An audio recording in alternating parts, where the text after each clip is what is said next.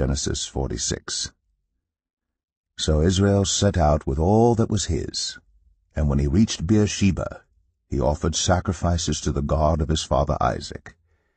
And God spoke to Israel in a vision at night and said, Jacob, Jacob. Here I am, he replied. I am God, the God of your father, he said. Do not be afraid to go down to Egypt, for I will make you into a great nation there. I will go down to Egypt with you, and I will surely bring you back again, and Joseph's own hand will close your eyes.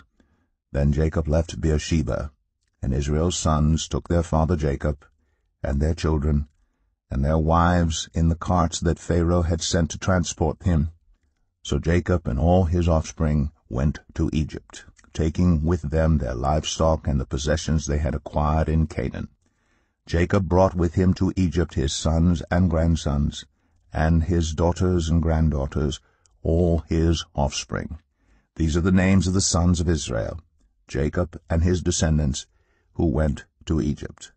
Reuben, the firstborn of Jacob, the sons of Reuben, Hanoch, Pallu, Hezron, and Carmi. Sons of Simeon, Jemuel, Jamin, Ohad, Jachin, Zohar, and Shaul, the son of a Canaanite woman. The sons of Levi, Gershon, Kohath, and Merari. The sons of Judah, Er, Onan, Shelah, Perez, and Zerah. But Er and Onan had died in the land of Canaan. The sons of Perez, Hezron, and Hamul. The sons of Issachar, Tola, Pua, Jashub, and Shimron.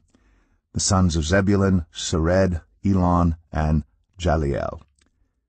These were the sons of Leah, born to Jacob in Padan Aram, besides his daughter Dinah.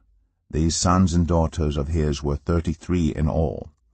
The sons of Gad, Zephon, Haggai, Shunai, Esbon, Eri, Aradai, and Areli. The sons of Asher, Imnah, Ishva, Ishvi, and Beriah. Their sister was Sarah. The sons of Beriah, Heber, and Malchiel. These were the children born to Jacob by Zilpah, whom Laban had given to his daughter Leah, sixteen in all.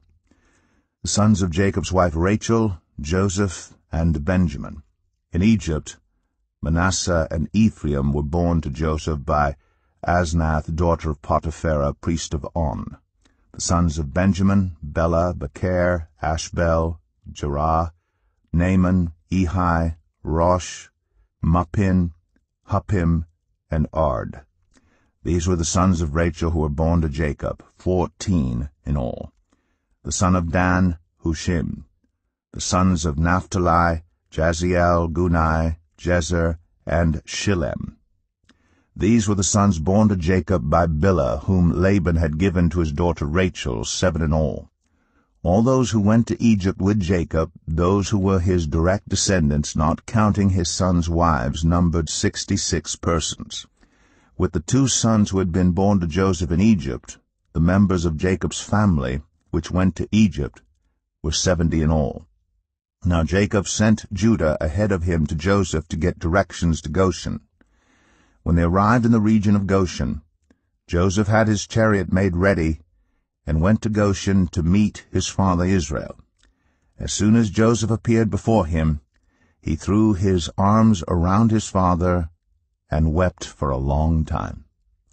Israel said to Joseph, Now I am ready to die since I have seen for myself that you are still alive.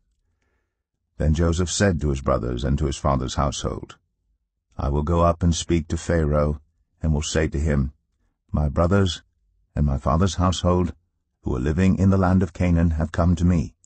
The men are shepherds. They tend livestock, and they have brought along their flocks and herds and everything they own. When Pharaoh calls you in and asks, What is your occupation? you should answer, Your servants have tended livestock from our boyhood on, just as our fathers did. Then you will be allowed to settle in the region of Goshen, for all shepherds are detestable to the Egyptians. Genesis 47 Joseph went and told Pharaoh, My father and brothers with their flocks and herds and everything they own, have come from the land of Canaan and are now in Goshen. He chose five of his brothers and presented them before Pharaoh. Pharaoh asked the brothers, What is your occupation? Your servants are shepherds, they replied to Pharaoh, just as our fathers were. They also said to him, We have come to live here for a while, because the famine is severe in Canaan, and your servants' flocks have no pasture. So now, please let your servants settle in Goshen. Pharaoh said to Joseph, Your father and your brothers have come to you, and the land of Egypt is before you. Settle your father and your brothers in the best part of the land. Let them live in Goshen. And if you know of any among them with special ability, put them in charge of my own livestock. Then Joseph brought his father Jacob in and presented him before Pharaoh. After Jacob blessed Pharaoh, Pharaoh asked him, How old are you? And Jacob said to Pharaoh, The years of my pilgrimage are a hundred and thirty. My years have been few and difficult, and they do not equal the years of the pilgrimage of my fathers. Then Jacob blessed Pharaoh, and went out from his presence.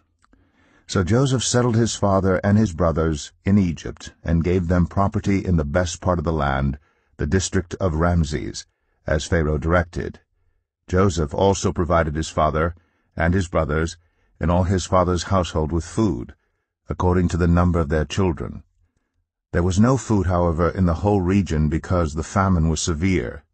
Both Egypt and Canaan wasted away because of the famine. Joseph collected all the money that was to be found in Egypt and Canaan in payment for the grain they were buying, and he brought it to Pharaoh's palace. When the money of the people of Egypt and Canaan was gone, all Egypt came to Joseph and said, Give us food. Why should we die before your eyes? Our money is all gone. Then bring your livestock, said Joseph. I will sell you food in exchange for your livestock, since your money is gone. So they brought their livestock to Joseph, and he gave them food in exchange for their horses, their sheep and goats, their cattle and donkeys, and he brought them through that year with food in exchange for all their livestock. When that year was over, they came to him the following year and said, We cannot hide from our Lord the fact that since our money is gone and our livestock belongs to you, there is nothing left for our Lord except our bodies and our land. Why should we perish before your eyes, we and our land as well? Buy us and our land in exchange for food, and we with our land will be in bondage to Pharaoh. Give us seed so that we may live and not die, and that the land may not become desolate. So Joseph bought all the land in Egypt for Pharaoh. The Egyptians, one and all, sold their fields because the famine was too severe for them. The land became Pharaoh's, and Joseph reduced the people to servitude, from one end of Egypt to the other. However, he did not buy the land of the priests, because they received a regular allotment from Pharaoh, and had food enough from the allotment Pharaoh gave them. That is why they did not sell their land. Joseph said to the people, Now that I have bought you and your land today for Pharaoh, here is seed for you, so you can plant the ground. But when the crop comes in, give a fifth of it to Pharaoh. The other four-fifths you may keep as seed for the fields, and as food for yourselves and your households and your children. You have saved our lives, they said. May we find favor in the eyes of our Lord. We will be in bondage to Pharaoh. So Joseph established it as a law concerning land in Egypt, still in force today, that a fifth of the produce belongs to Pharaoh, it was only the land of the priests that did not become Pharaoh's. Now the Israelites settled in Egypt in the region of Goshen. They acquired property there, and were fruitful and increased greatly in number. Jacob lived in Egypt seventeen years, and the years of his life were a hundred and forty-seven. When the time drew near for Israel to die, he called for his son Joseph and said to him, if I have found favor in your eyes, put your hand under my thigh, and promise that you will show me kindness and faithfulness. Do not bury me in Egypt. But when I rest with my fathers, carry me out of Egypt, and bury me where they are buried. I will do as you say, he said. Swear to me, he said. Then Joseph swore to him. And Israel worshipped, as he leaned on the top of his staff.